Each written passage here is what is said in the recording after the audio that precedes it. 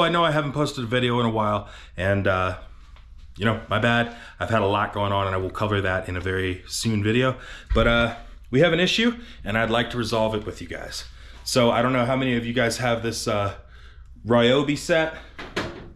You know, I got the I got two batteries. I got the drill, and I got a hammer drill. I've had these batteries for probably had these batteries for about two years, but you know, I don't I don't use them that often. But neither one of them holds a full charge anymore. I don't know if you guys can see. Three battery bars there. This one only goes to two.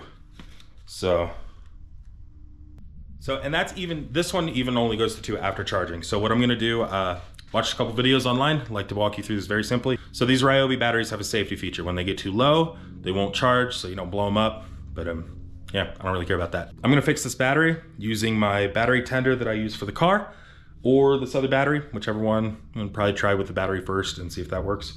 And then we'll try the battery tender, see if that works. We'll see. We'll see which one works better. But both of them are gonna get surgery. Pop this on the charger, make sure it says it's fully charged.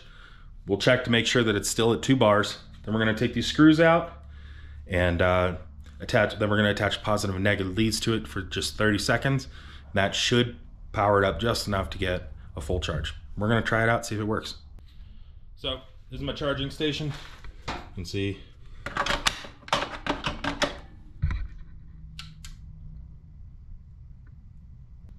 All right, so as you can see, it says it's currently charged. It's doing this one, fading in and out. This one should be this one should be blinking, but it's not. Let's try the other battery.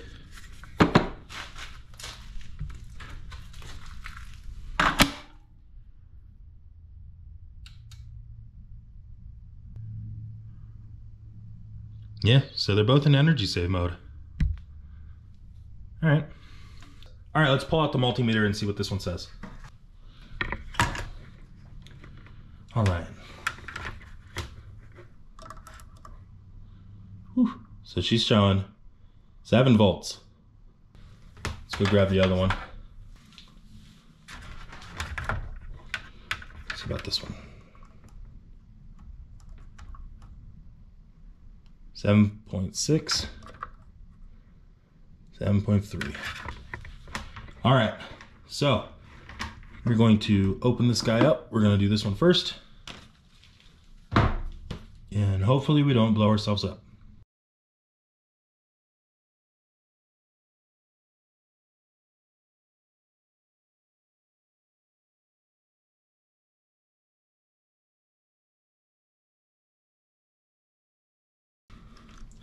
So you're gonna have to dig this out. I didn't know if I had to or not, but there was a little piece of plastic there.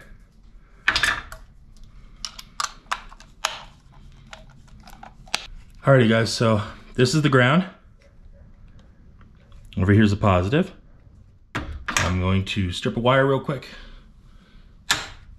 Get that ready to go. Try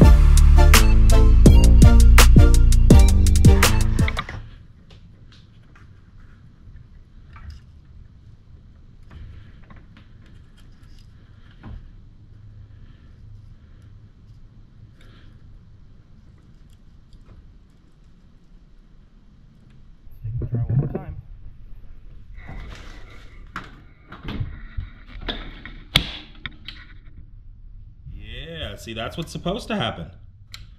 There we go. I don't like how much ticking it's doing, but it's at least doing something. Alrighty guys, so as you can see, it did work. Uh, you just have to hold it on there a little bit longer than 30 seconds, but worked for me, so. Don't throw out those old Ryobi batteries. Uh, I'm not sure if this works for other brands, but it, I don't see why it wouldn't if they're doing the same thing.